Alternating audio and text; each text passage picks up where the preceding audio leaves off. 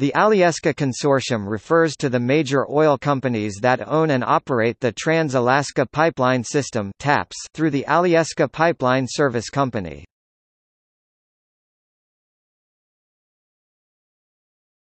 Topic: History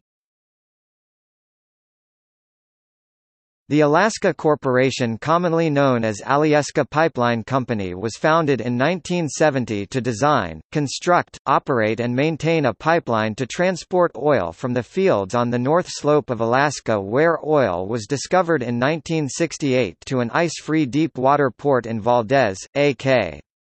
The pipeline was built between March 1975 and June 1977, running from the North Slope fields at Prudhoe Bay to the marine terminal at Valdez on Prince William Sound. Alyeska then went on to operate and maintain TAPS.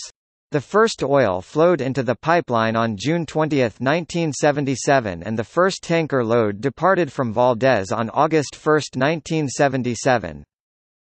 The Alyeska Pipeline Service Company was partially responsible for helping to respond to the Exxon Valdez oil spill. However, Alyeska Pipeline was unprepared for the events, and consequently slow to respond with cleanup crews and equipment.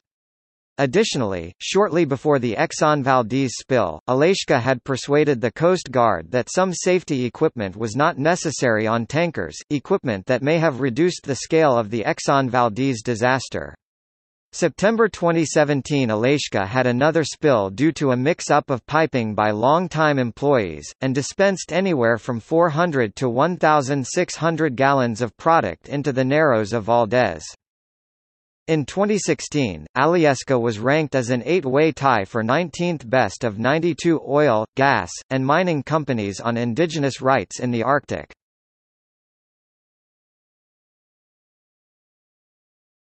Topic: Organization The major owner of the company is BP with 46.93% of the shares dating from the acquisition of ARCO.